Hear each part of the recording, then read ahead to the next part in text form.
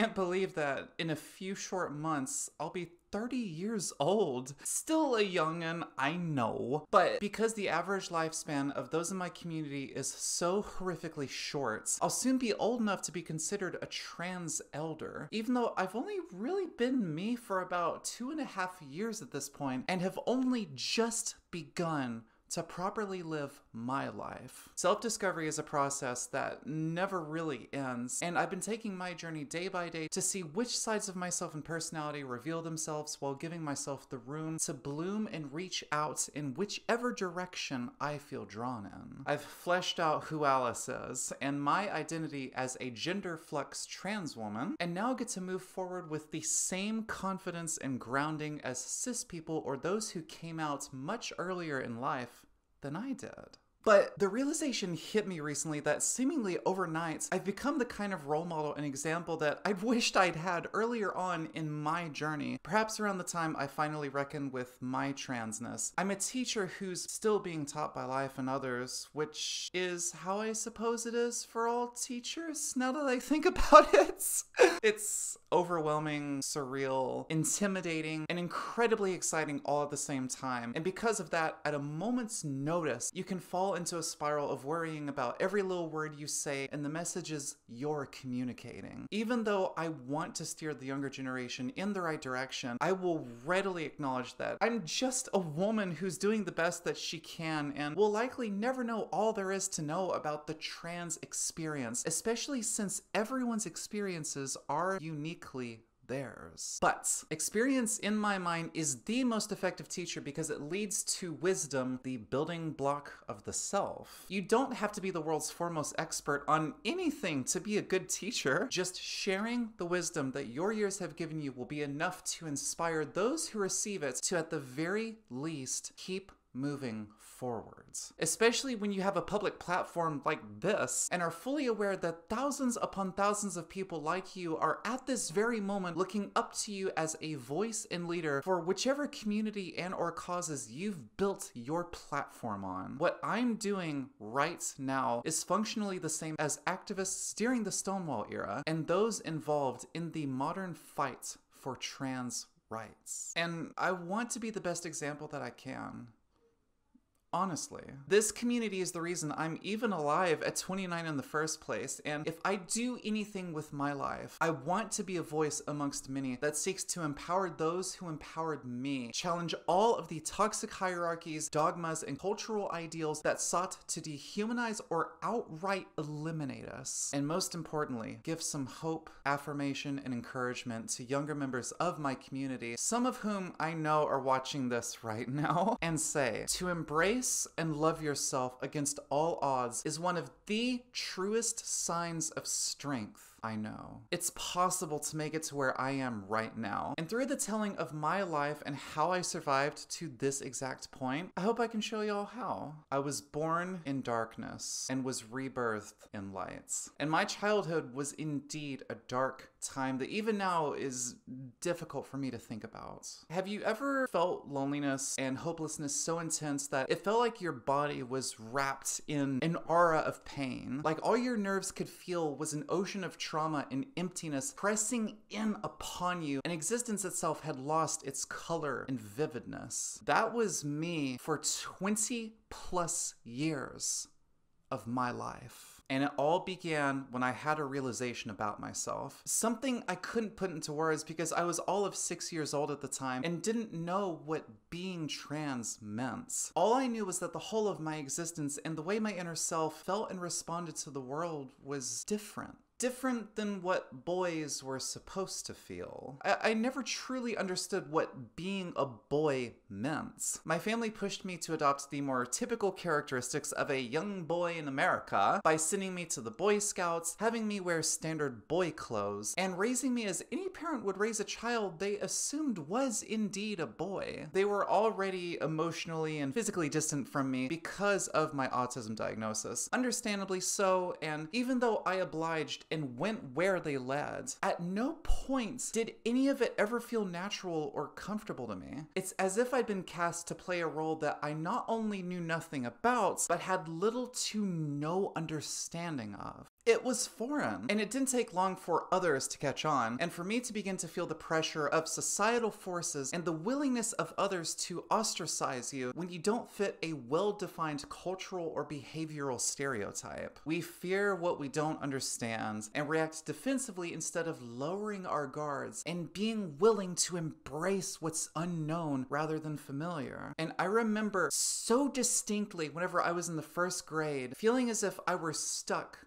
between two worlds. I didn't understand boys. Why they rough-housed, talked, and thought the way they did. Why it felt as if I'd been tuned to a different wavelength than them and was forever disconnected. And they didn't understand me. For years, they would jab me with things like, Why do you act like a girl? Are you gay? You're not much of a boy, etc. And I never knew how to respond because at that point, all I knew was that I wasn't like them. But I didn't know how or even how to express that. It was a completely different story with girls. It wasn't just that I was more comfortable around them or was able to get along with them and relate better to them, and that most of my friends were you know, there was a part of me that whispered, they're like me, over and over again, and I wanted more than anything to understand why, but was terrified of coming off as creepy or invading their boundaries because East Texas culture teaches that boys stick with boys and girls stick with girls, and that is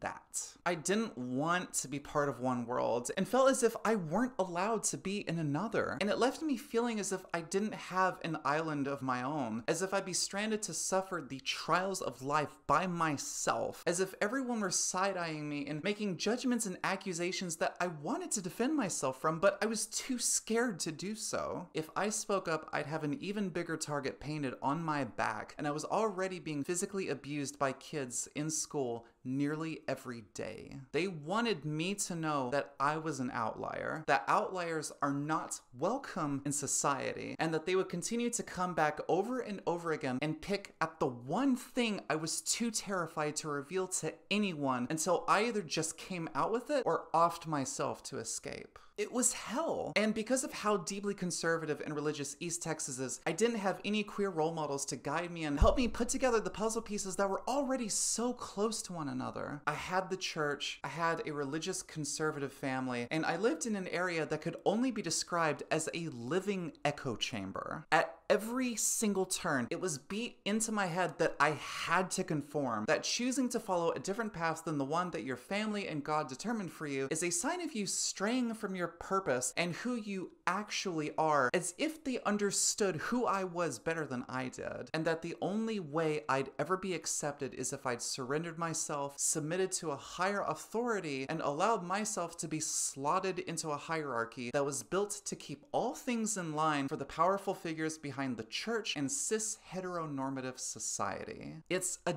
death trap for people like me. Too many of us fall through the cracks because some families would rather abandon their child or throw the Bible at them for hours on end than accept the horrific thoughts that their child is queer, that this is who they are, that their God may have actually made their child that way, and that no amount of religious brainwashing or emotional and or physical abuse will change what is unchangeable. But my parents, those I went to school with, preachers, clergy people, and adults in my Methodist church did all they could to take a scalpel to my identity and carve me into something that fit their image of me rather than just allowing me to exist. And that so many of them genuinely thought they were coming from a place of love when they did this because they didn't understand how deeply they've been brainwashed by religious and conservative dogma and weren't aware of how they've been taught to see people like myself or even queerness itself as something to fear that its very presence meant a destabilization within society, the church, the family, the self and that in order to fix it, it meant doing away with the very thing causing that destabilization. Here I was, little teen Alice, so innocent and loving, and just trying to understand the world and herself, and she was plunged into the cold, into a fear of herself, into a resistance towards wanting to dig into her identity and the isolation of her from everyone else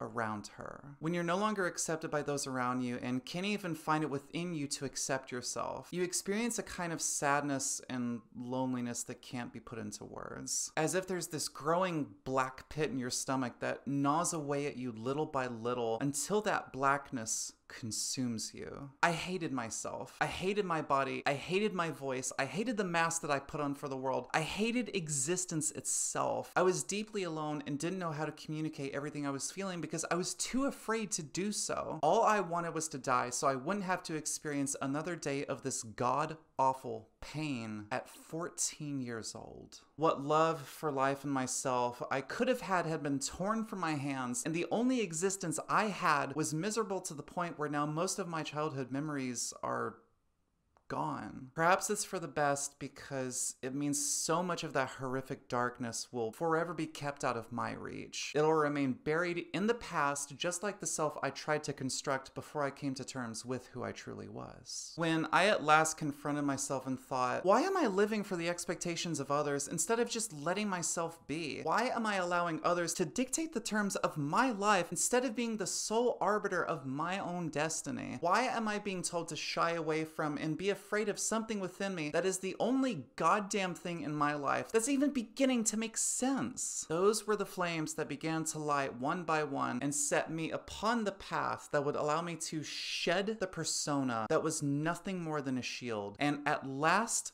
allow Alice to be born, to take a deep breath of fresh air, and suddenly understand what it is to be alive, to be happy, and to know yourself, to be grounded in your own skin and your own identity. And to see the rest of the world turn upside down as the opening of your eyes to yourself also opens your eyes to the unthinkable extent of reality that was once distorted by those around you, by those who kept you at arm's length from finding yourself, knowing truth, living in thinking for yourself and the ability to just be you for no one else but you. The swells of joy I felt whenever I realized I didn't have crushes on girls but wanted to be them, and the clarity that shone within me when I began treading lightly into the more feminine sides of myself that I'd kept stored away for years were all consuming and seemingly at once redirected the entire trajectory of my life as if now I were facing down my actual self and the only direction I could go from here on out. It was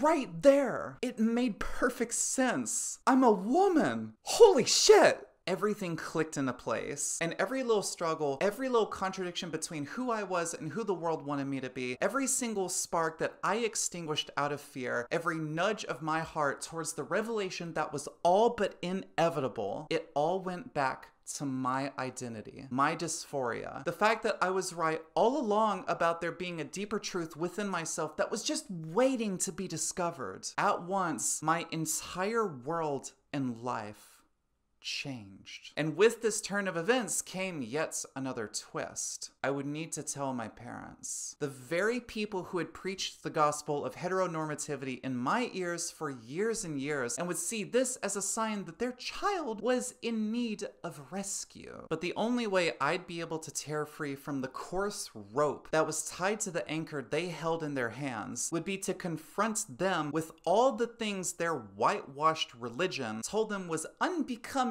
of any good servant of God, and show how all of those things existed within me. If they knew their child was happier despite them not understanding the nature of transness and identity, would they relinquish control and allow me to learn how to walk completely on my own? Or would they reveal that their love was conditional and that having a trans child is something they simply couldn't accept or learn to live with? Even if they never agreed, I wondered if we'd at least be able to have some sort of existence with one another, even if it was more distant than before. But the moment I opened Pandora's box to them was the moment I knew my relationship with them would never return to the way it was before. I was accused of mutilating myself, told that I'd be a caricature of myself, and bombarded with comments like, You'll always be the man God made you to be, and there's nothing you can do to change that. We miss the sweet, loving, smart, accepting child we raised. You were weren't born to be an anarchist, pagan, any of this. This is not who you are. You've broken our law. You must return at once and see the error in your ways, for you are lost. And this went on for years. Preached at and gaslit and treated as if I didn't know what the fuck I was doing, even though I was the one who'd been living in my head alongside all these feelings and instincts for the past 27 years. We'd reached an impasse, an impenetrable ideological barrier, and a bridge that couldn't be crossed at this point in time, even though someday it could be.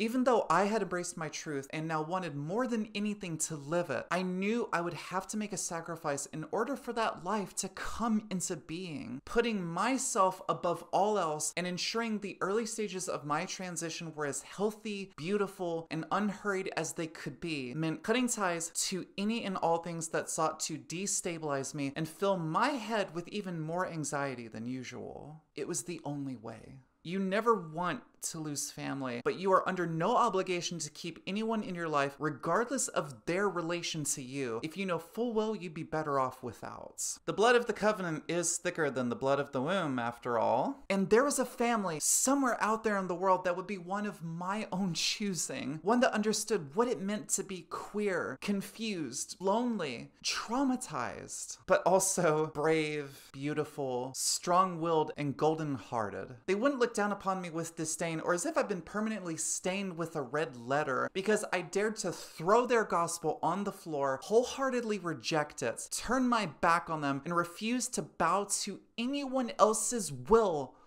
but mine. And that family wouldn't be found in the rolling green hills of East Texas. It would be somewhere else, somewhere unfamiliar, but somewhere more welcoming and more aligned with not only who I was, but who I was becoming. I could not, at this point in my flights, do a single thing that could harm its trajectory. And so a decision was made. Move halfway across the country to a place I'd never been, where I didn't know anyone, and where I'd be starting my life over from scratch. All in the name of survival. All in the name of building something that actually had value and truth to it. Something in which I had full control over. And something that would allow me to bloom and burst forth unrestrained and finally grasp the burning chalice of life and consume it fully. It meant leaving behind everything and everyone I knew and venturing out into the great unknown. It had to be done. And the moment the lights of Austin faded in my rearview mirror was the moments I knew there was no turning back.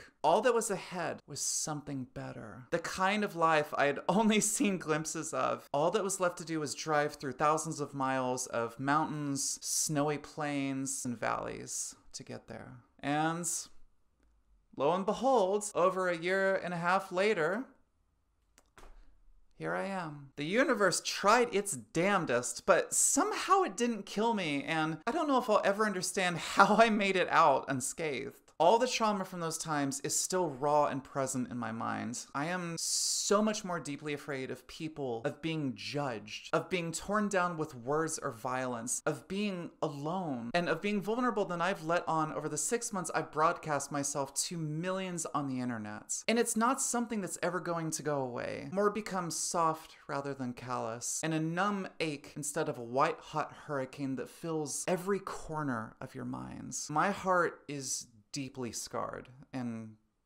always will be. And I'm still coming to terms with that. But despite all of the odds being against me, I'm the happiest I've ever been, and I'm living the kind of life that I never thought I'd have the privilege to live. And as I leave my 20s, the most difficult and transformative decade of my life, and the decade in which I found myself, I'm staring down the beginning of my 30s, a decade in which literally anything is now possible. And all of this was due to making one single decision, which turned out to be the most important decision of my life. To embrace and love yourself against all odds is one of the truest signs of strength I know. And every one of you watching who are the future of this community, you yourself possess that kind of strength within you, even when it's difficult to see. Even though we're far removed now from the atrocities that were committed against the LGBTQ community before Stonewall, we still have light years to go before we'll be able to, from birth, live the kind of life that the cis community is automatically handed. But we don't have to mold ourselves to fit a society that was never built for us. You all have the power to change it. It's been so incredibly inspiring seeing more and more of you shuck off the traditions of the past and openly express yourself in ways I couldn't even have dreamed of a decade ago. You're already making huge waves and leaving an indelible mark on society, and I couldn't be prouder of you. Seriously. We in the trans community know a thing or two about perseverance, adversity, and living underneath the thumb of our oppressors as it tries to grind us into the pavements. But we, being the naturally rebellious souls that we are, still manage to bloom despite our circumstances. The world is a cold place, but you make it brighter. Never forget that. Just surviving may not exactly seem like a huge accomplishment, but in my mind, it is. You've made it this far, and you've a beautiful voyage ahead. To steer you on the way, I want to read something I wrote a year ago that rings just as true now as it did then. For the first time in my life, I'm happy, whole, and feel a true sense of belonging in my body, with my emotions and sense of self, in others' lives and in the world. The missing puzzle piece fell into place, and it's as if life has finally begun at age 29. All of my feelings are vivid, deep, colorful, overwhelming, and wholly welcomed. I love myself, my life, loved ones around me, and I have an unquenchable desire to shower love and validation over every single person I meet, especially my siblings in the trans community. They don't call me Mother Alice for no reason.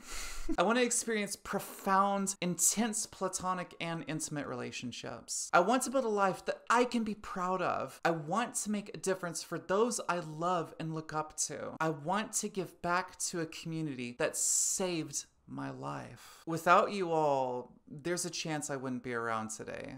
And I mean that. When I discovered myself, a Pandora's box was opened that could never again be shut, and the only choice I had left, the one thing I knew I had to do, was transition and become myself at long last. I know how it feels to wish life as you know it could just come to an end. I know what it's like to never be able to escape the horrid, soul crushing loneliness when you shut yourself away from others. All because you can't stand yourself, your body, your voice, and this identity that you know isn't you. But you're terrified of what could happen if you choose to take that first step towards the other side, towards freedom, towards finally understanding yourself on the deepest, most powerful level. You don't want to lose your family, friends, livelihood, home, life. This is the only stability you've ever known, and what isn't known scares the hell out of you. But if you're in this position right now, just ask yourself